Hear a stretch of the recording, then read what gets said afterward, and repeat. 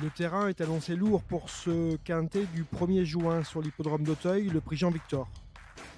Dantour des Obos sera mon favori pour ce quintet, car il était convaincant pour son retour en steeple et il est adepte des quintets.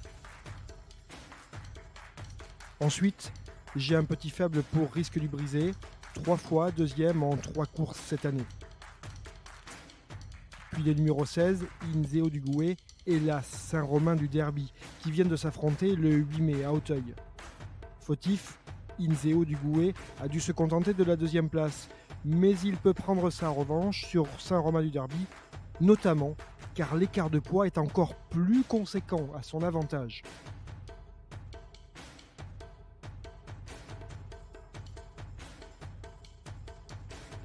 Concurrent ne pas négliger, le numéro 5, Philopoto. Il est à reprendre après son prix du président de la République manqué et sa récente mésaventure. Enfin, Harry Conti, cinquième du président, devrait apprécier le raccourcissement de la distance. Mon ticket 6, 8, 16, As, 5 et 11. Puis le 10, Uric des Obos en cas de non partant. Pour plus d'informations sur ce quintet et les autres actus hippiques, rendez-vous sur equidia.fr.